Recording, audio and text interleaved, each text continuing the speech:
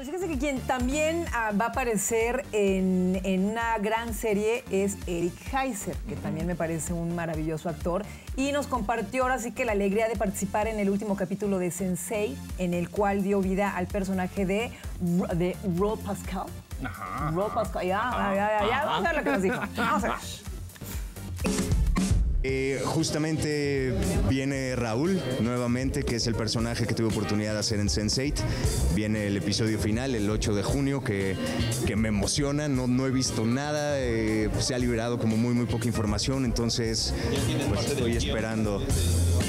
Sí, el, guion lo leí completito. Eh, toca verlo, a ver qué, qué nos sorprende de lo que encontremos en, en- en pantalla. Pero pues es un proyecto que, tiene un poco que ver con esto que estamos hablando, ¿no? Para mí, el hecho de, hacer un proyecto como Sense8, que ha venido a revolucionar la televisión en el mundo, que ha venido a, a unirnos a todos en amor y a romper fronteras y a vernos como seres humanos sin importar nuestro credo, nuestra ideología, nuestra nacionalidad o nuestra preferencia sexual, que pues yo lo aplaudo y siempre voy a ser partícipe de este tipo de proyectos.